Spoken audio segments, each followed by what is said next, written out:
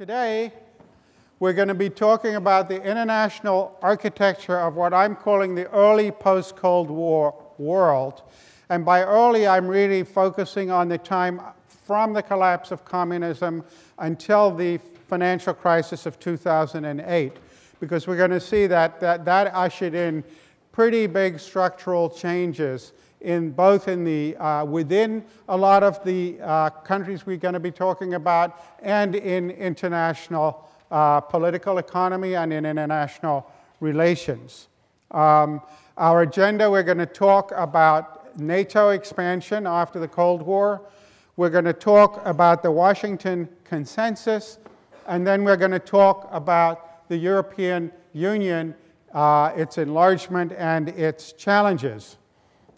So it's a pretty big menu. I do want to take a minute to say something about uh, three lenses for thinking about politics. One of the problems with political science is that people, people tend not to say in words of one syllable what they can say in words of five syllables. Um, and so there's an awful lot of terminology, uh, terminology and jargon. And it's my ambition to uh, use as little of this as possible. Um, but I do want to alert you uh, to, to three different ways of thinking about politics that to some extent compete and to some extent are complementary. The first is one that focuses on people's interests. Um, you, you might think of Marxism as, as focusing on people's economic interests, but also um, formal rational choice models of politics um, that use economic approaches to politics focus on people's individual interests. It's all interest based. And, and we think about uh, just common folk wisdom about politics. People expect people to do things that are in their interest.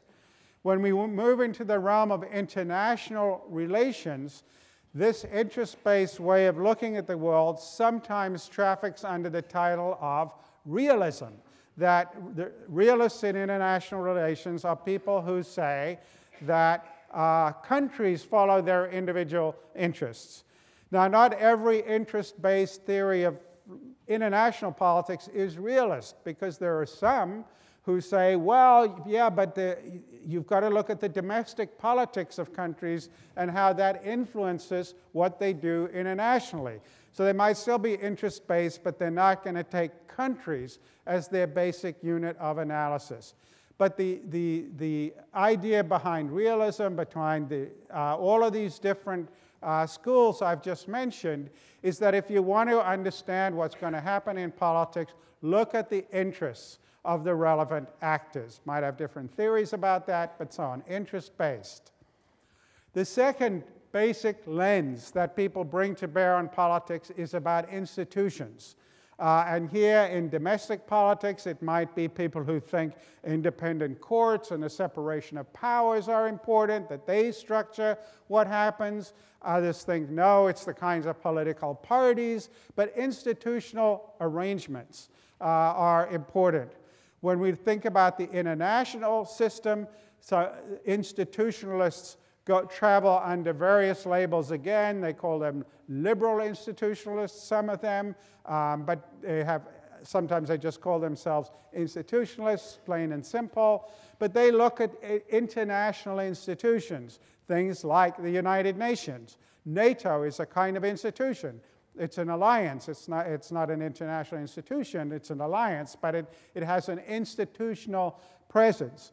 So this second lens focuses on institutional arrangements uh, which may or may not be consistent with the way people's interests line up, right? So for instance, George Kennan, who I mentioned to you last time, thought the United Nations was a waste of time because countries always behave in their interests. And if the UN told them to do something that wasn't in their interest, they would ignore it. Um, so that there you can, you can see uh, possible tensions between institutionalist and interest-based accounts.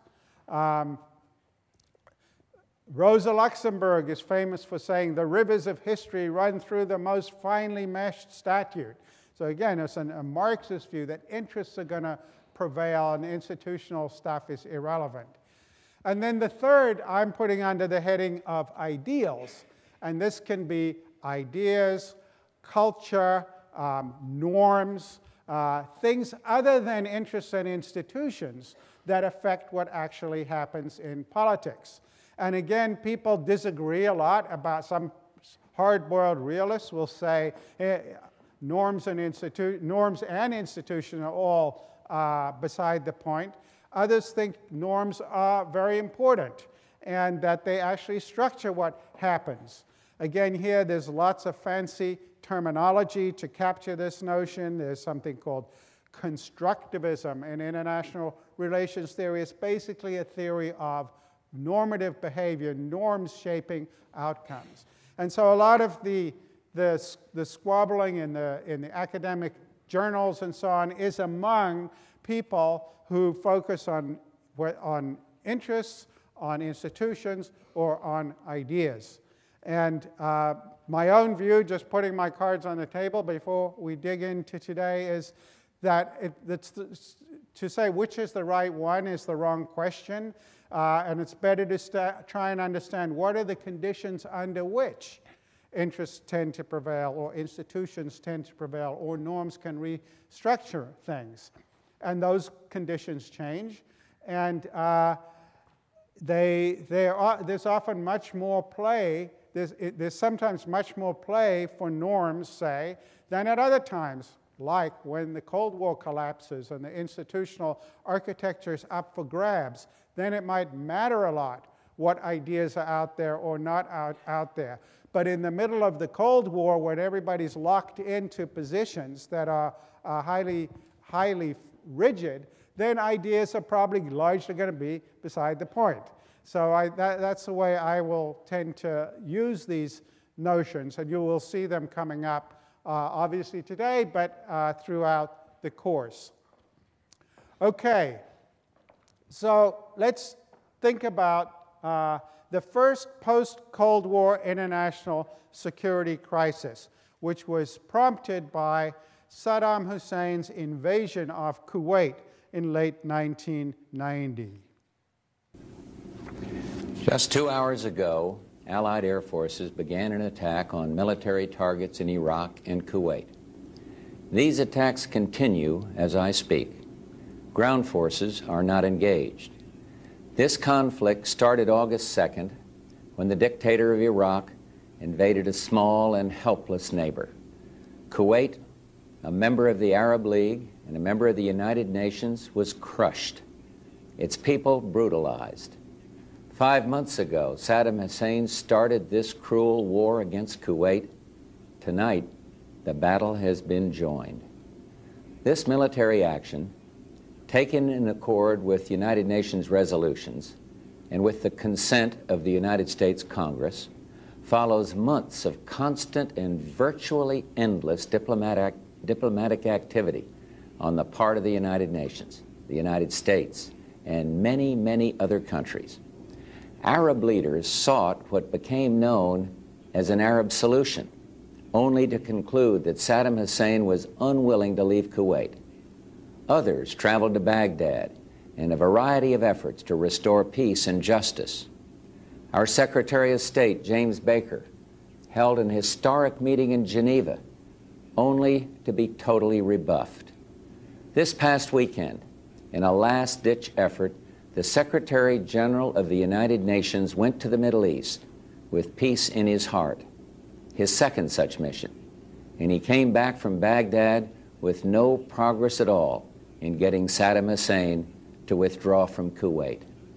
Now, the 28 countries with forces in the Gulf area have exhausted all reasonable efforts to reach a peaceful resolution, have no choice but to drive Saddam from Kuwait by force. We will not fail.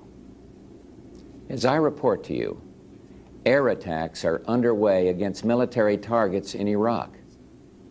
We are determined to knock out Saddam Hussein's nuclear bomb potential. We will also destroy his chemical weapons facilities. Our objectives are clear. Saddam Hussein's forces will leave Kuwait.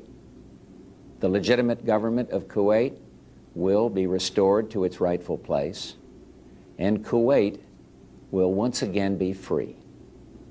Iraq will eventually comply with all relevant United Nations resolutions, and then, when peace is restored, it is our hope that Iraq will live as a peaceful and cooperative member of the family of nations. I had hoped that when the United States Congress, in historic debate, took its resolute action, Saddam would realize he could not prevail and would move out of Kuwait in accord with the United Nations resolutions. He did not do that. Instead, he remained intransigent, certain that time was on his side. Saddam was warned over and over again to comply with the will of the United Nations, leave Kuwait or be driven out. Saddam has arrogantly rejected all warnings. Instead, he tried to make this a dispute between Iraq and the United States of America. Well, he failed. Tonight, 28 nations, countries from five continents, Europe and Asia, Africa, and the Arab League, have forces in the Gulf area standing shoulder to shoulder against Saddam Hussein. These countries had hoped the use of force could be avoided. Regrettably, we now believe that only force will make him leave. So that was the first Gulf War, so called Operation Desert Storm. As President Bush said there, it was, it was authorized. This is Resolution 678, which I will post and you can peruse at your leisure. I do want to notice that. Uh, just notice that it, it was authorized by the Security Council um, with Cuba and Yemen voting against. They were temporary members of the Security Council. The way the Security Council works is any one of the five permanent members can veto it, uh, and China chose to abstain, but it didn't veto it. Uh, and uh, Soviet Union uh, supported it. So um, I, want to, I, I start with this because I want to point out several things about uh, what Bush did. He, he certainly was, the, the U.S. was certainly not blameless in this whole affair, and I don't want to, I don't want to uh, sugarcoat uh, every aspect of what President Bush did in this regard. There was heavily, he was heavily criticized uh, later for having apparently signaled to uh, Saddam Hussein that it would be okay with the U.S. if they went into Kuwait. He was also criticized for encouraging a Shiite uprising in southern Kuwait and then not supporting it uh, after we left. So um, there, there, are grounds for criticizing what we did. But um, the things I want to point out is, first of all, it was an action of last resort. every, every effort, as he said in the video, had been made to end this without an invasion. Uh, secondly, it was proportional. Stop the bully without becoming one. Bush took a lot of criticism for this. People said, you should go to Baghdad, you should knock off this regime. And he steadfastly refused to do it, um, partly because uh, of the uh, fact that he was not behaving unilaterally. As he indicated, there was a genuine coalition, including every Arab country except Jordan uh, was actually participating in this. And he knew that if he did more than the UN uh, mandate, the Security Council resolution mandated, the coalition would collapse. Um, so it was a broad based co coalition with strong regional support to uh, stop the bully without becoming a bully. Uh, that is to say, this aggression will not be tolerated. And this, as I said, was the first international security crisis of the post Cold War world. And had that become the template going forward, uh, we would be in a very different place today. Well, that's one of the things I'm going to be arguing to you later in the course, because as it turns out, uh, it was one of the paths not taken to treat the way in which Saddam Hussein had been expelled from uh, Kuwait as perhaps norm setting for the future handling of international security crises. It was a path not taken. Okay let's talk about NATO. What, when, and why? So, NATO is a creature of the Cold War. Um, and it's, I've already mentioned the United Nations several times today, and it's important to think about NATO uh, and the origins of NATO uh, alongside the creation of the United Nations because they were created both in the 1940s. After World War I, they had Woodrow Wilson had wanted to create a League of Nations, and that had failed largely because the American uh, uh, Congress wouldn't go along with it. And, and FDR had during World War II greatly invested in the idea that there must be uh, an institution of this general sort uh, created after World War II to prevent nations from going to war. And when um, President Truman came into office, he made, it, um, he made it his business to make sure that that happened. Uh, and so here you can see President Truman addressing the conference in San Francisco in April uh, of 1945 as they were drawing up the Charter of the UN.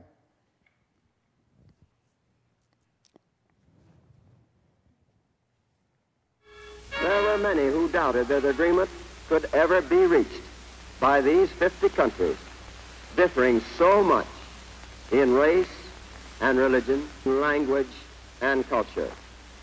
But these differences were all forgotten in one unshakable unity of determination to find a way to end war.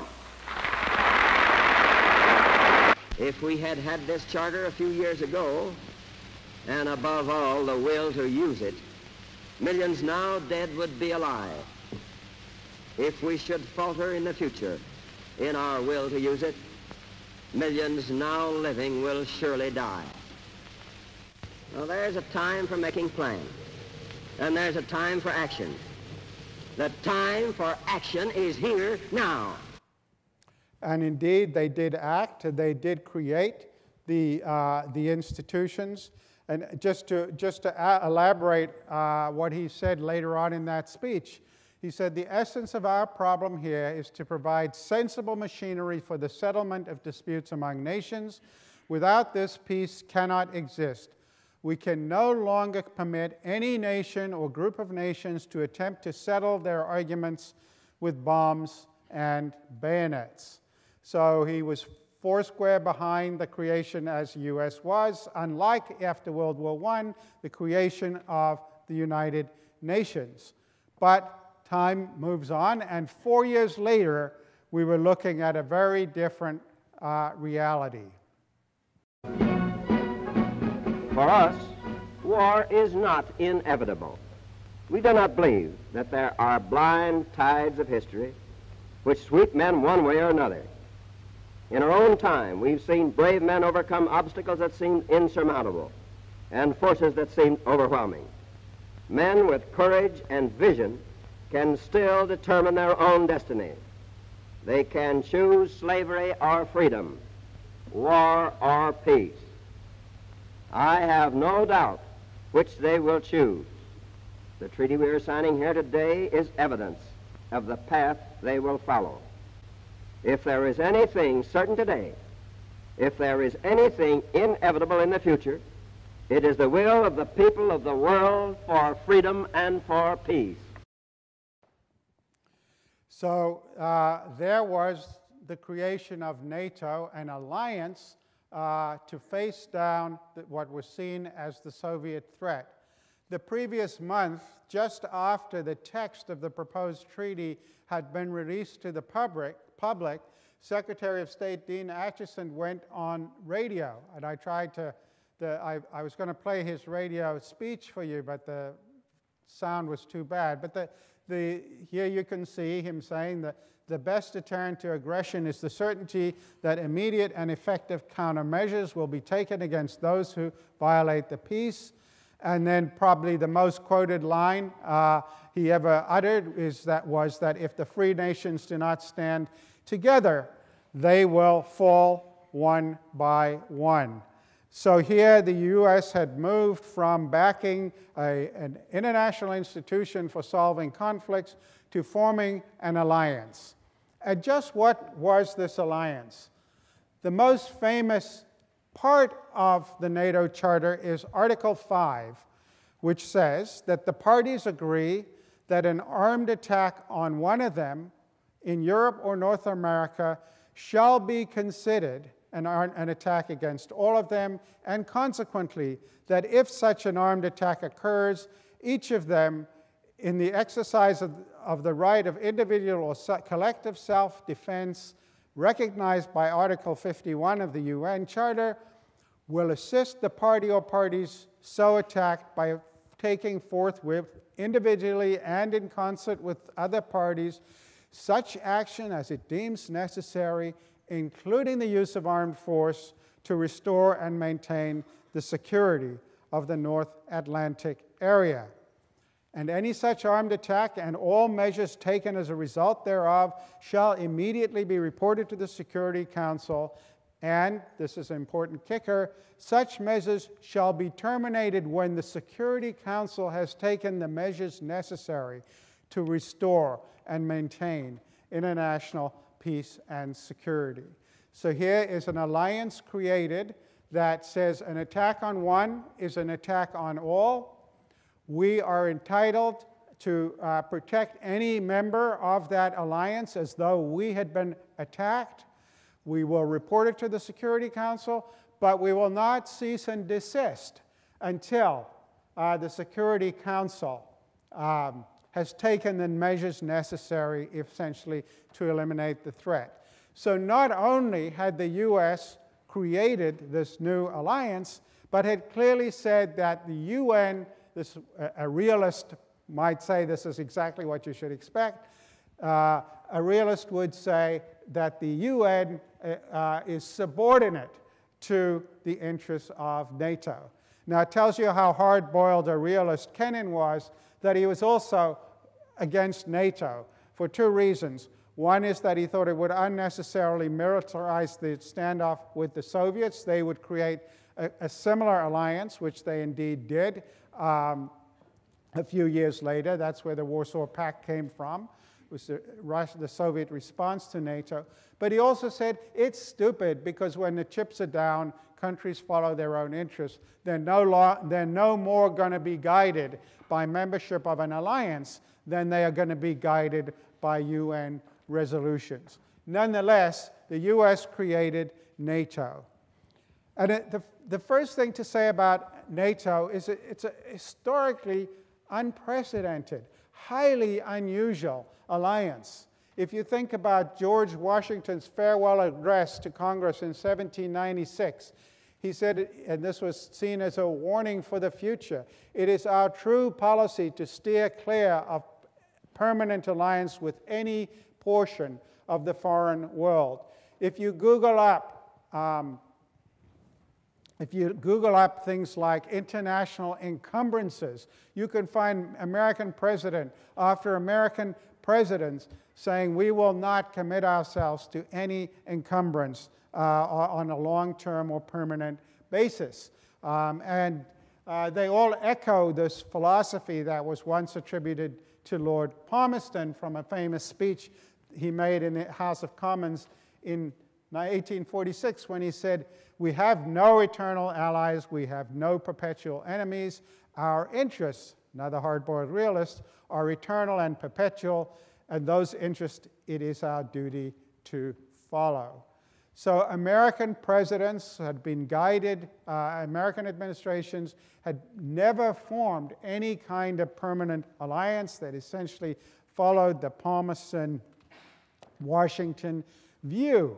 And here we have uh, the creation of an alliance among the Western powers um, dedicated to uh, protecting one another in perpetuity with armed force if necessary and subordinating international institutions to that purpose.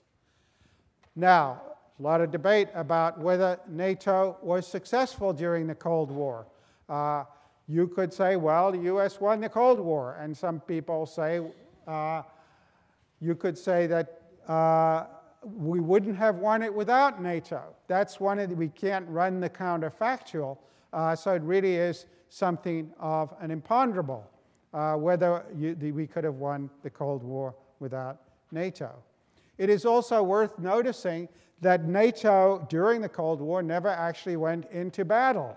The first time NATO a NATO operation occurred, which I'm going to talk more about later in the course, was in Kosovo in 1999, after the Cold War over. And by the way, when Article 5 was not triggered because uh, no NATO country was threatened. And that same thing is true with subsequent NATO actions in the post Cold War period, such as the invasion of Libya in 2012, about which we'll also be spending time later.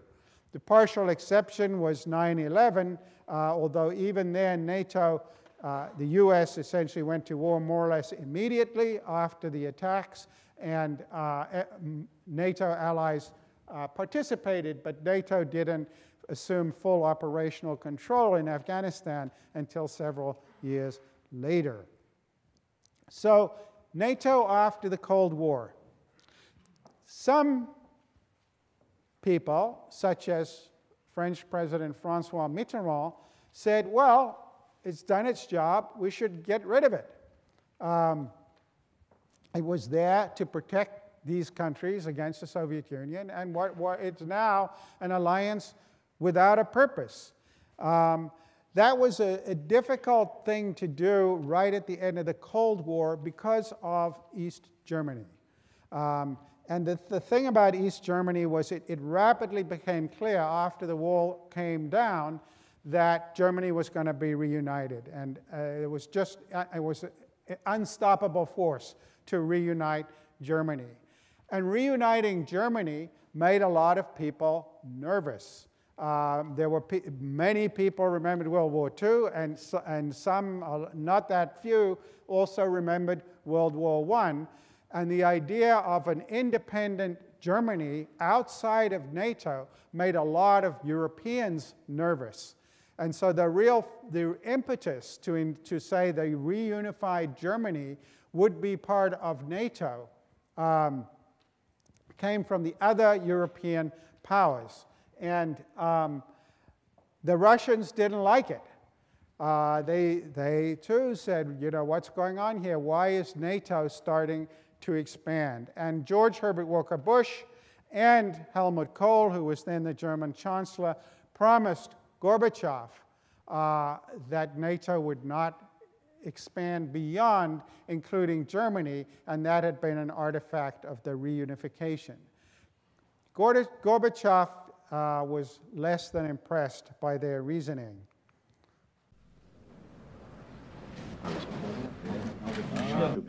And I'm not persuaded by the assurances that we hear that Russia has nothing to worry about. You cannot, you may not humiliate a nation, a people, and think that uh, it'll have no consequences. So my question is, is this a new strategy? I feel that if the same kind of games continue to be played, if uh, one country plays some card against the other country, then all of those problems, all of those issues that we've been mentioning today will be very difficult to resolve. Glasnost, free elections, political pluralism, the problems of concern to you. So he was skeptical. Uh, he thought that this is not uh, this is not likely to be how things are going to play out. But he did he saw this, as he says in that clip, he saw this as a humiliation of Russia. That, or it was still the Soviet Union at that time. He saw this as, as, a, as a humiliation uh, of the Soviet Union and uh, was, was adamantly uh, opposed to it.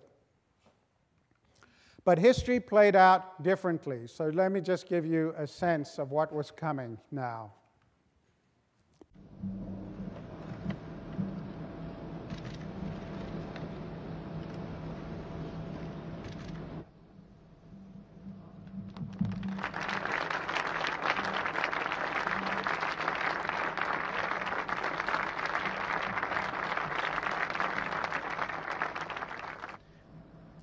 Today we welcome Hungary, Poland, the Czech Republic, finally erasing the boundary line the Cold War artificially imposed on the continent of Europe, strengthening an alliance that now clearly is better preserved to keep the peace and preserve our security into the 21st century. For the 16 of us already in NATO, enlarging our alliance, our goal is to help to build a Europe that is undivided, free, democratic, at peace, and secure.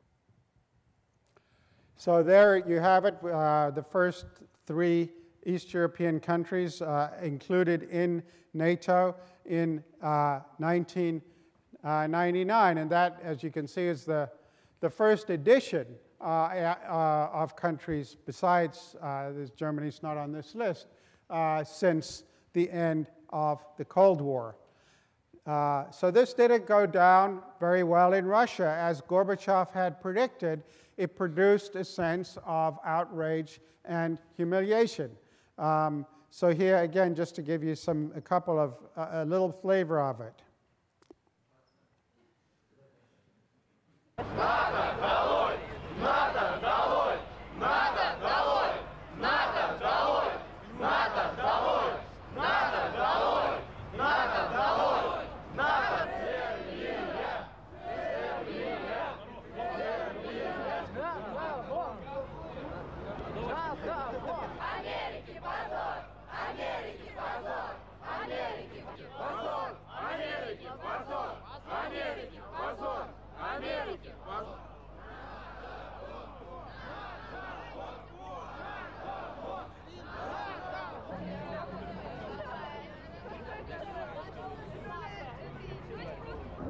Самое главное, чтобы натовцы поняли, что есть поколение, которое исправит ошибки сегодняшних политиков. Это поколение вот стоит. So a couple of comments about that clip. So uh, one is uh, uh, uh um, on the signs, one of the things that they're, they're demonstrating about is that President Clinton had um, bombed uh, Iraq for violating the, the um, no-fly zones and they say basically only an idiot uh, or worse would be bombing Iraq, uh, the no-fly zones that had been set up following uh, Saddam Hussein's invasion from Kuwait. Um, this gentleman uh, at the end of the clip is somebody by the name of Sergei Baburin.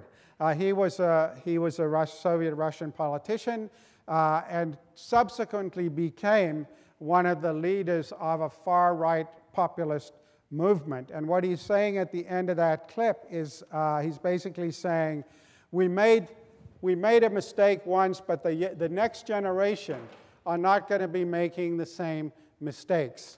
And it's interesting that uh, he said this in response to them demonstrating against the uh, American bombing of Iraq.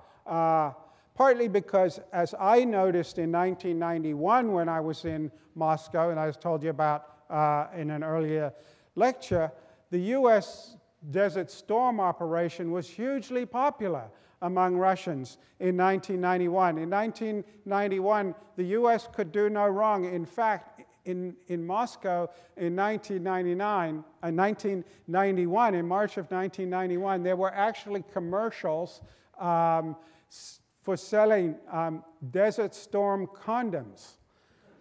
Go figure.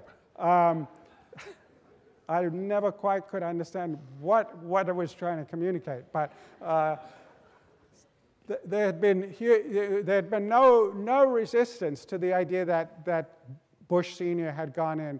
But, you know, uh, seven years later, when uh, these East European countries were starting to join in, uh, to join uh, NATO, um, things played out very differently. And it didn't stop there, it continued.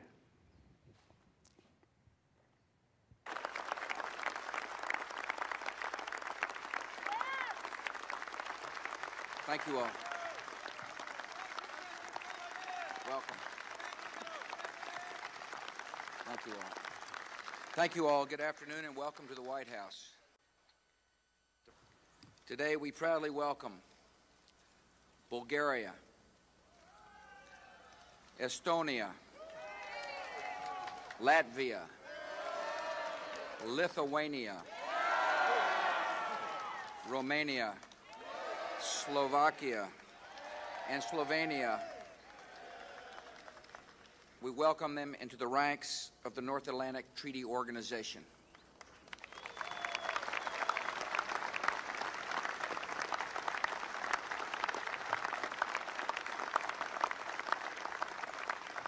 When NATO was founded, the people of these seven nations were captives to an empire. They endured bitter tyranny. They struggled for independence. They earned their freedom through courage and perseverance. And today they stand with us as full and equal partners in this great alliance.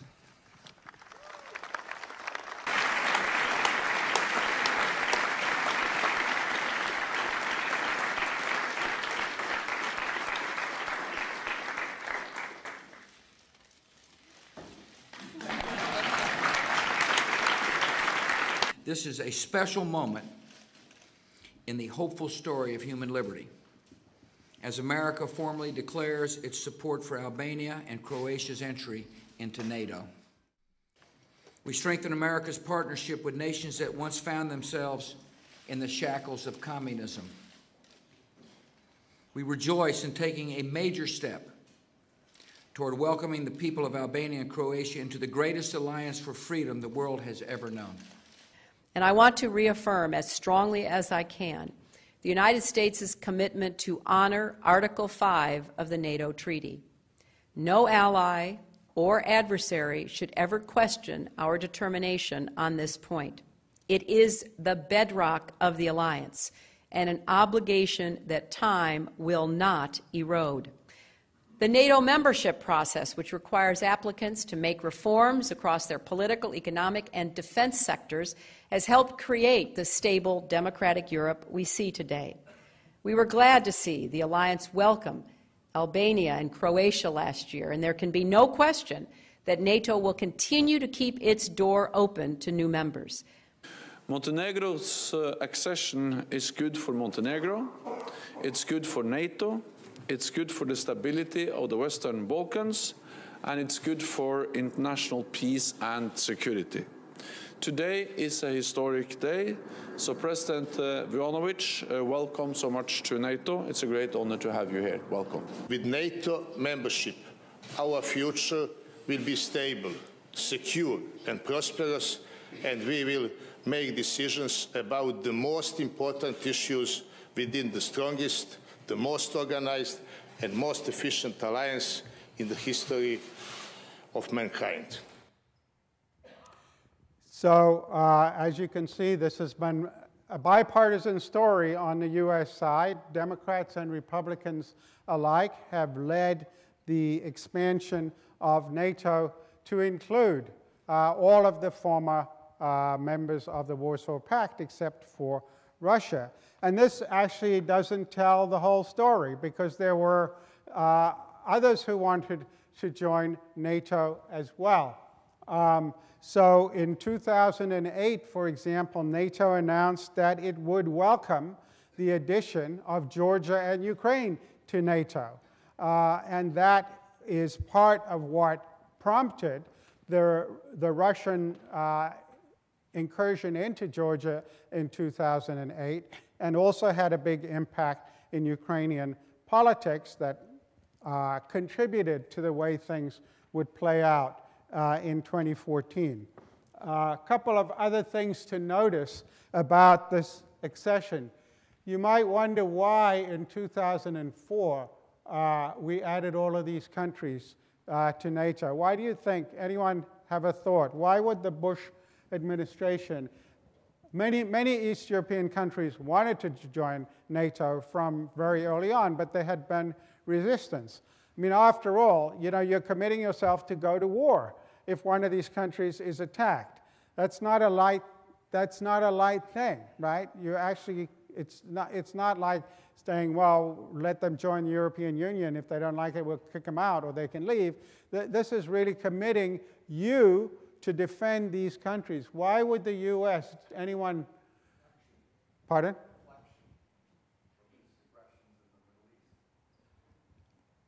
It was, it was related to what he was doing in the Middle East, but it was not deflection. What had we, what were we doing, in, what had we just done in the Middle East in 2004? Yeah. We had just invaded Iraq, and then the natives, our, the former, uh, or like the current NATO allies were not supportive and potentially the Bingo. Exactly right. So, what had happened was um, after, uh, and this is something we will return to later in the course, but once the Bush Jr., George W. Bush, had decided to invade Iraq in 2003, he, uh, unlike what his father had done, he couldn't get a Security Council uh, resolution to authorize it. And um, he had a lot of trouble putting together a coalition because all the, the Middle Eastern countries were not in favor of it. And he, was, he, he needed the fig leaf of an international coalition to um, create, he thought, legitimacy uh, uh, for this action. And so if you look at all of these countries except Slovenia, uh, every one of these countries joined the coalition, nominally at least, and sent troops to Iraq uh, when the U, as part of the, the uh, U, U.S. Um, led uh, coalition of the willing. They, they joined the coalition of the willing, and the quid for the quo was that he supported their uh, accession to NATO the following year. Interestingly, though, they all got rid of the draft uh, in the meantime. Uh, clearly, they were worried about the domestic politics of committing their youth to fighting in wars uh, for, uh, to defend NATO countries. So here you see that uh, geopolitics playing itself out uh, in this way, that uh, this is very much an interest-based story, that Bush is looking to get legitimation for his invasion, and so that became the impetus for getting these countries to join.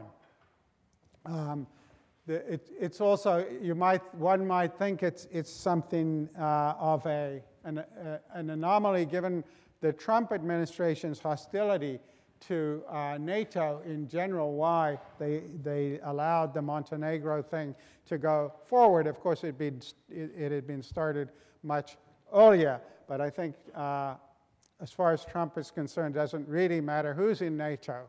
Um, nonetheless, his, the question that Trump asks about NATO is not a crazy question right? And it was, it's the same question Francois Mitterrand was asking. What is this alliance there actually for? Um, so, so there's some enduring questions about post-Cold War NATO, which are going to come back uh, later in the course. One is, was Mitterrand right? Uh, was, uh, was there a missed opportunity at the end of the Cold War? Was Gorbachev right? Did NATO expansion make it more likely that someone like Putin would come to power in Russia? Um, Gorbachev had said, humiliate people and there will be consequences. Um, and certainly the, the, the, the, the, steady incursion uh, of, of NATO into the former, uh, not only Eastern Europe, but as I said, they were running up trial balloons uh, about incorporating the Ukraine and Georgia in 2008. Uh, there's a colorable case that this might have uh, bolstered uh, the nationalism of a figure like um, Putin. We'll come back to that too. And what are the advantages and costs of having a permanent military alliance that now lacks any clear motivating purpose? It's, read, it's led by the most powerful military on earth. Um, it's not clear what its goal is or is not. Uh, we will see later in the course that when it has become active, it has had nothing to do with Article 5 of the NATO treaty, but it's rather uh, taken on new missions and uh, new rationales, mostly ad hoc, dreamed up on the fly to suit the interests of different players at different times.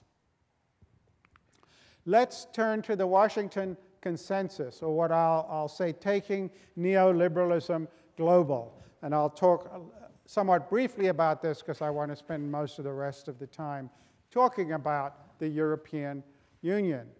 So the Washington Consensus, again, um, and what, I'm, I, what I call the Washington Consensus is essentially a global version of what often gets called neoliberalism. And I think of it, uh, again, distilling it down and getting rid of all the jargon uh, that plagues these discussions as having three main features. One is deregulation, uh, the second is free trade or trade agreements, and the third is privatization of state assets, previously held state held assets. Um, within countries, that tends to be called neoliberalism. Uh, when the World Bank or the IMF uh, or the Americans try to get other countries, as they did particularly up until the financial crisis, when the Washington Consensus, we'll see, started to lose some of its um, ideological power in the world, um, that's what they, that would, the, the, core elements of the diet on which they would insist uh, for countries to get US aid uh, or, or, aid from uh, institutions controlled by the World Bank or the IMF. And it's difficult to overstate the um, confidence, the hubris, we might say in retrospect, the confidence within, with which this was viewed as the, as the one size fits all approach to economic development. In 2004, in uh, a speech to the, to the New York Fed, I think it was to the New York Fed, um, Ben Bernanke, who was then chairman of the Federal Reserve, made a, a, speech that you can, if you Google up his great moderation so called speech, it's a speech in which he says essentially the technocrats running the Fed are now sufficiently competent that um, we, have well, he didn't actually say this, but this is how it's what it's come to be stood, come to be interpreted as having said. What he actually said was somewhat more nuanced. But he, the, the takeaway lines from the speech are to the effect that the Fed has basically managed to, if not abolish the business cycle, manage it uh, so successfully that the peaks and troughs uh, cannot be too damaging, and we can largely have no inflation, full employment, and let, let the technocrats run it. Uh, as I said, what he actually said, if you go and read the whole speech, was a little more nuanced than that. But it, it became emblematic of the idea that uh, this diet of uh, economic uh, deregulation, free trade, and privatization uh, informing all pu uh, public policy uh, was the way to go, and that the world would be hunky dory thereafter. deregulation of Wall Street after the repeal of Glass-Steagall in 1999. So here, um, the Glass-Steagall Act had been enacted in the 1930s in the wake of the Depression to stop um, trading, uh, to, to stop investment banks from engaging in uh, investments on their own accounts with depositors' money. You either had to be an investment bank or a commercial bank. The banks didn't like it. They, they, they lobbied against it for decades. And actually, by the time it was uh, repealed in 1999, there wasn't much of it left. Uh, read Ron Chernow's The House of Morgan if you want the blow by blow uh, of, of, the, of the lobbying about that. Uh, brilliant book, uh, among his many brilliant books. Um, and so there's great debate now uh, about how much actually getting rid of Glass-Steagall contributed to the financial crisis. Some say not at all. Some say it was, it was really all about uh, real estate markets, had nothing to do with that. And some say a lot. But my, my point in mentioning it here is not whether repealing Glass-Steagall contributed to the financial crisis. I tend to think probably not. but uh, it, it was emblematic of and ushered in a whole other set of steps of deregulation. So, for instance, in 2004, Hank Paulson, who was then chairman of Goldman Sachs, led a group of the five biggest banks to Washington uh, to lobby Christopher Cox, uh, who was then the head of the SEC, not the sharpest knife in Congress, um, to lobby him on the grounds that uh, if, um, if, if a bank was sufficiently big, if it had $5 billion in assets, it should be exempted from capital requirements or have reduced capital requirements because um, they were big enough to self insure. The thought that because they were so big is maybe why they should be have the capital requirements didn't seem to occur to him. Um, and uh, so the, the ones that were too big to fail were the ones that uh, were subjected to less in the way of capital requirements. And you might, you know, we might say, go figure, how could anybody be so foolish? The quid for the quo, by the way, they said, we'll open our books to you. But the SEC at that time had a tiny office uh, with, I think it was seven people working in it, ostensibly to, to keep track of $4 trillion worth of assets. So they weren't going to be able to do this uh, in any serious way, uh, monitor the books of these companies. And indeed, uh, months before uh, the financial crisis, literally two or three months before the financial crisis, Cox was reassuring Congress that the big banks were fundamentally sound, and then turned around and Lehman Brothers went belly up.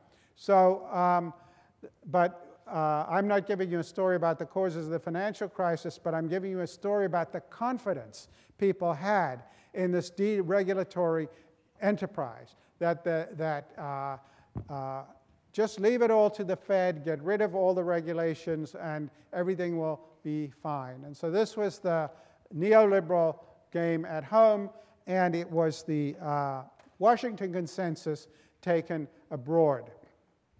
There was much more resistance to it in what we might think of the, as the global south.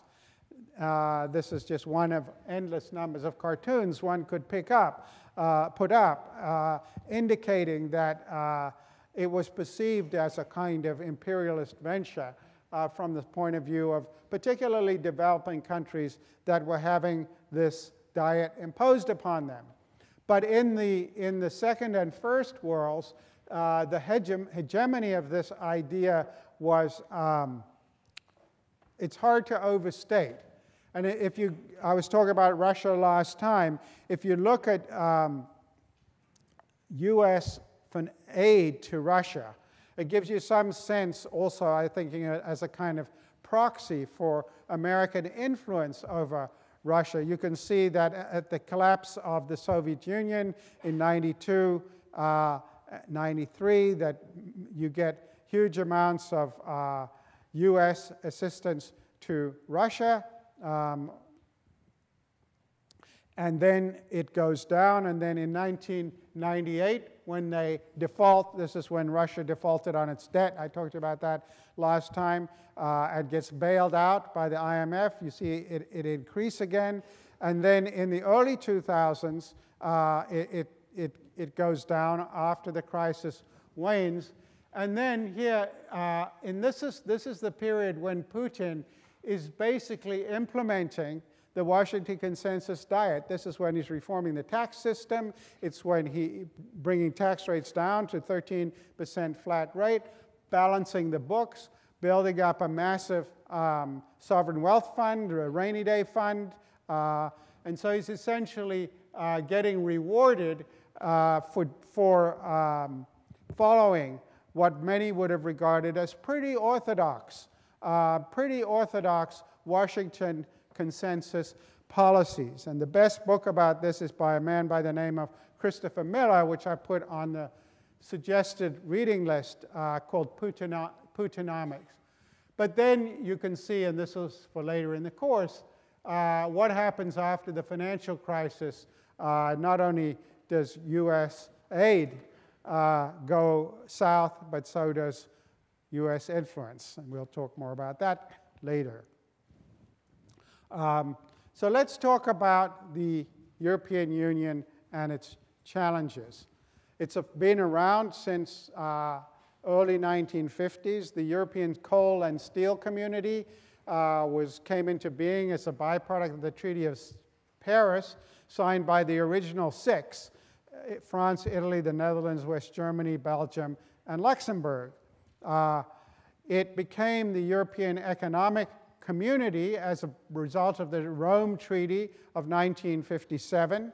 Uh, a much more ambitious treaty was enacted in 1992, the so-called Maastricht Treaty, and the most recent, um, most recent piece of legal architecture, which I'll talk a little bit more about in a minute, was the Lisbon Treaty of 2007. Uh, I'm not going to give you the blow-by-blow of, of, how all the 28 countries, how they got from 6 to 28, but you can Google it up for yourself and see when the different ones joined. What I want us to do is focus more on what was the point of this? Why, why was the European Union thought to be necessary? What purpose would it serve? Yeah.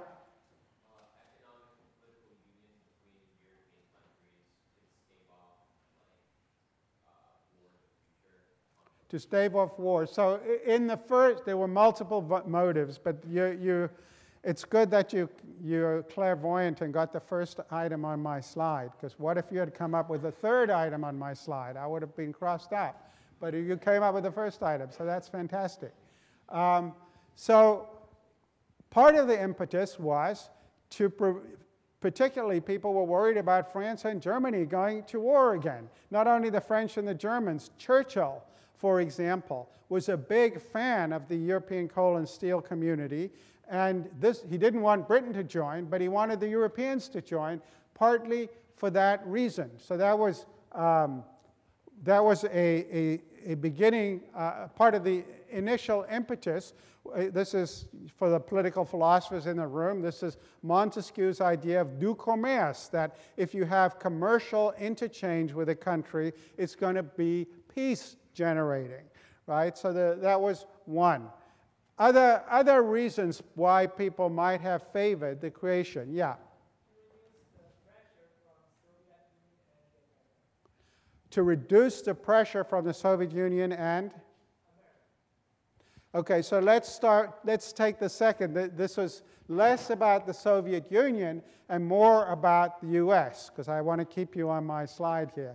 Um, this was the big French motive. De Gaulle, uh, for example, uh, was a big, uh, big proponent of the idea that what the Europeans needed to do was to band together to be a, a comparable force in the world to the US, right? Now, de Gaulle, I'm sure, as you all know, was a staunch nationalist, right?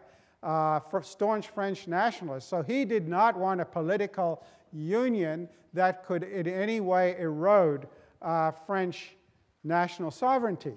Um, he, he would be, I think, uh, chuckling at the Brexit fight that's going on at the moment. But the, the way in which de Gaulle uh, thought you could both have a strong, united Europe and protect the national sovereignty of France, which he, they got it very jealously. They didn't. They kicked. They kicked NATO troops out of France. They want their own independent nuclear deterrent. They did not. They, they had a very jealous uh, conception of their um, independence and sovereignty, and they were not uh, going to be pushed around by the Americans.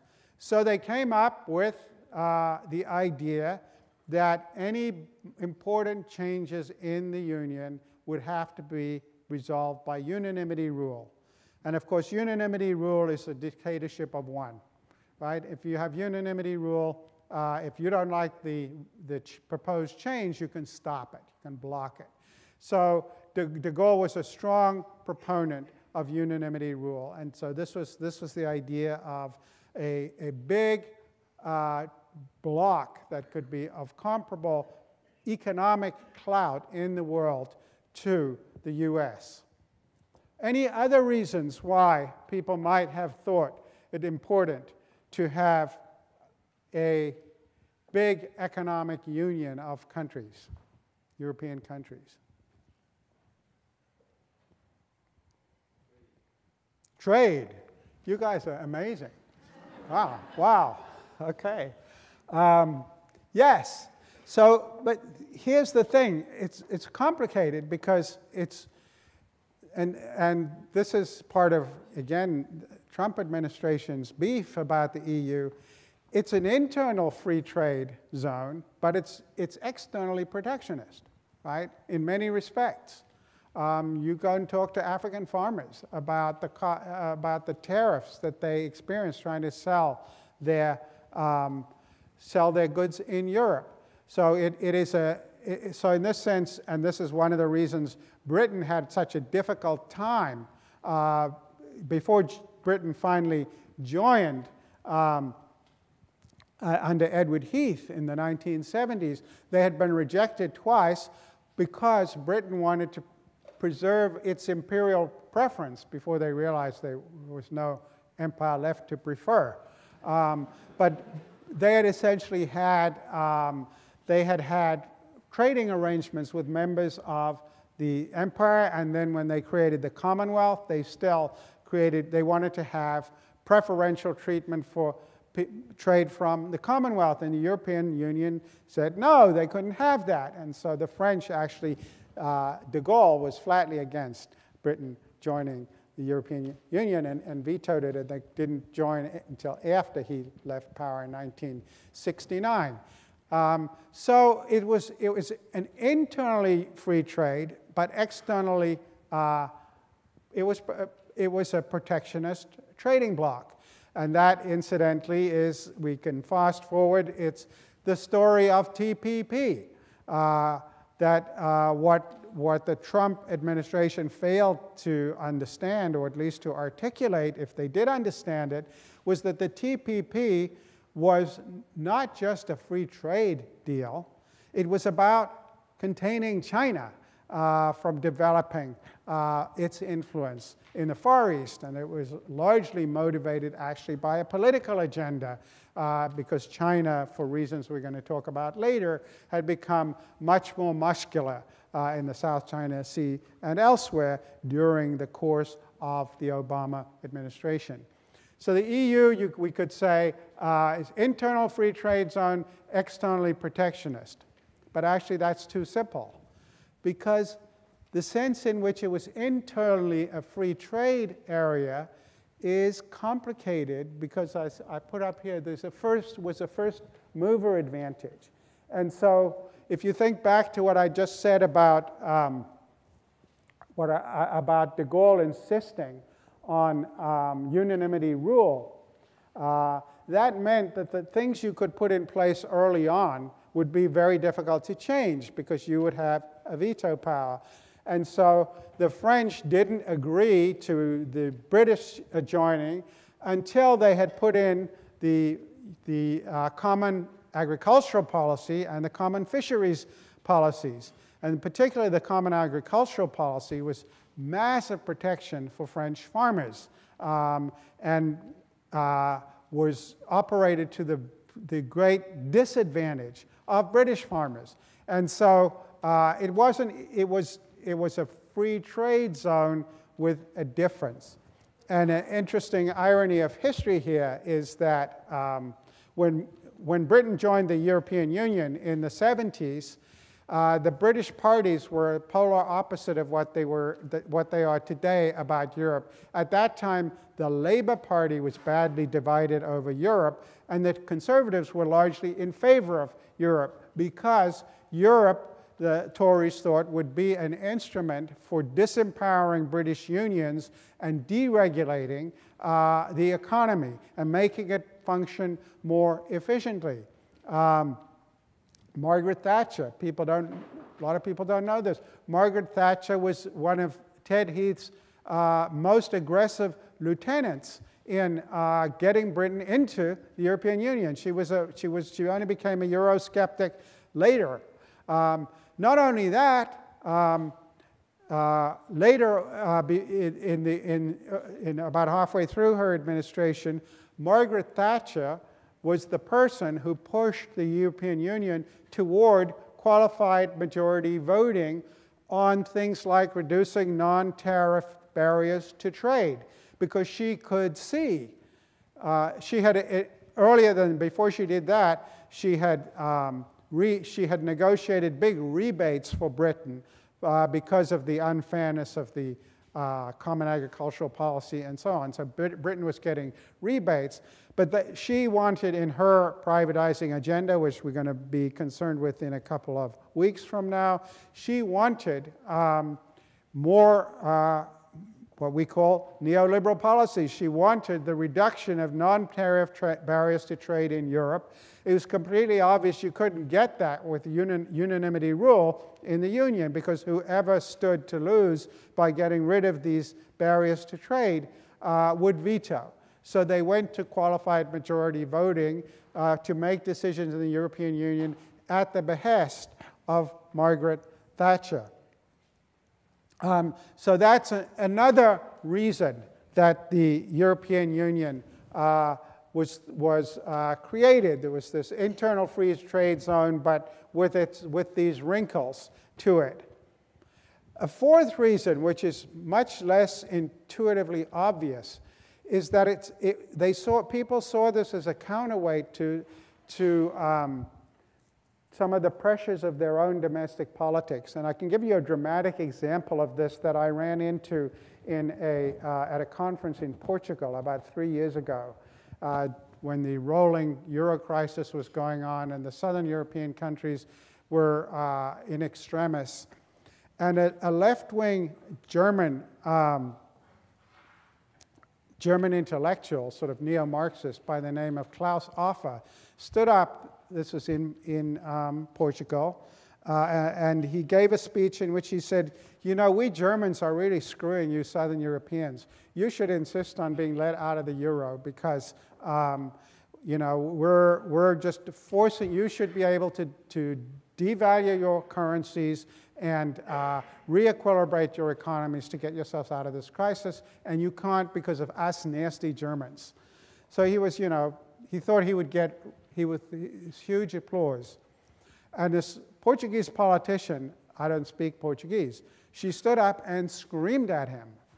And evidently, he understood enough Portuguese to get the sense that she was angry with him, but not what he was saying. So I said, I think you've misunderstood what I'm saying. And he said it again, and she screamed at him even more.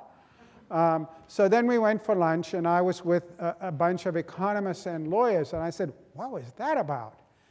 And the economists all said, well, the Portuguese government knows that but for these constraints, the, the, Portuguese government would be printing money hand over fist and would have massive hyperinflation. And the lawyers all said, You don't seem to understand. Portugal has never been able to be a democracy outside of the European Union, right? So they, these people saw, uh, saw it actually, the fact that that this was a constraint on Portugal was a good thing. And in a less dramatic fashion, uh, even the Germans liked some of the constraints. And then finally, of course, there was the idea of a federal uni- European state. This is the, the, the uh, idea most um, famously associated with Jacques Delors of an ever closer union. It actually comes from a, a declaration in Stuttgart uh, signed in 1983, including by the British, by the way, the heads of state or government on the basis of an awareness of a common destiny and the wish to affirm the European identity confirm their commitment to progress toward an ever closer union among the peoples and member states of the community. So, five motivations there. What do they all share in common? What's common? I mean, there are, it's a disparate list, but there's one thing in common. Yeah. They focus on Europe. What's another thing in common? Power in numbers. Uh, what's another thing? Okay. So they're all examples, they're all from above. They're an elite project, if you think about it. They are, they're, they are the views of what elites uh, think should happen in Europe. And a symptom of that happens in uh, 2005 when the Maastricht had created a constitution that was going to integrate uh, Europe even more, uh, much more close, ever closer union. And can, as you can see, uh, France and the Netherlands held referendums in which it was voted down uh, by the populations, the, the European Constitution that had come out of Maastricht.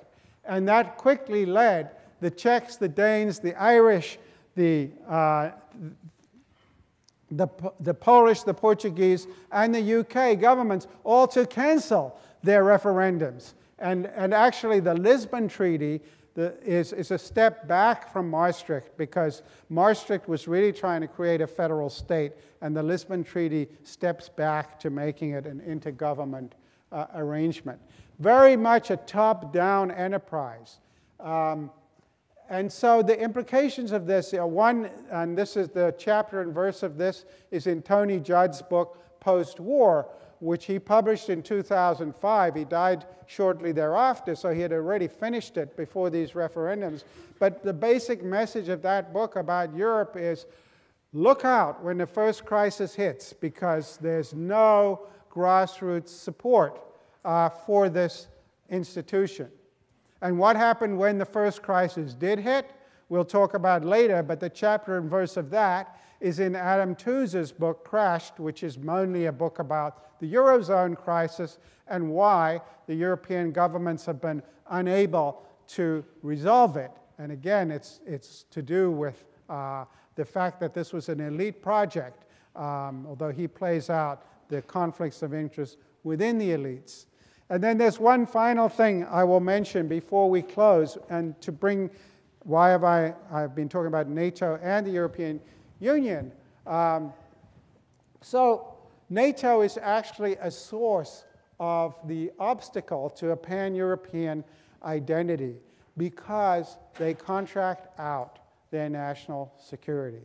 If you think back to the beginning of the U.S., um, the, we almost lost the War of Independence because the, um, the states wouldn't ante up soldiers and funds to fight the war.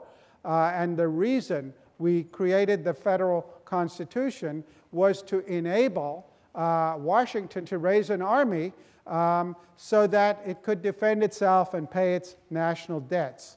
Um, because Europe contracts out essentially its national security, to NATO, there's no European army. There's no sense that Europeans might have to go and die for Europe in the way that, as a result of uh, the transition from the Confederation to the United States of America, we have created uh, a national entity to, with which people actually identify. So there's an irony there that actually the strength of NATO um, can be an obstacle to uh, the formation of a pan European identity. Okay, we're out of time, and next we will be talking about fusing capitalist economics with communist politics in China and Vietnam.